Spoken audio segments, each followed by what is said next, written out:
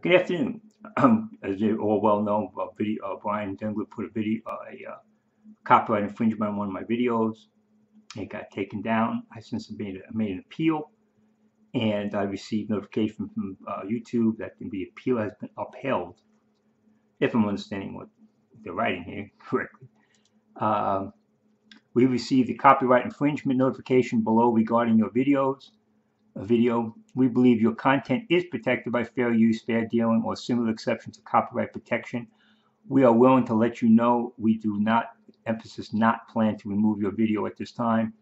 You have control over the availability of videos on your channel, including the ability to delete them if you choose. Uh, see, please be advised it is possible the copyright owner will approach you directly to request removal or take other action. Uh, this email is not intended as legal advice. If you're interested in more information regarding your options in this matter, you may wish to consult a qualified attorney. Um, it goes on more stuff here. So, so, so much for that. According to them, the video should be back up. I'll have to check.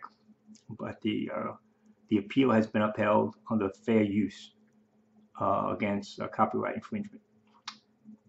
And uh, so much for, for Bryan's gloating uh, about uh, you know getting his enemies. Amen. Thank you.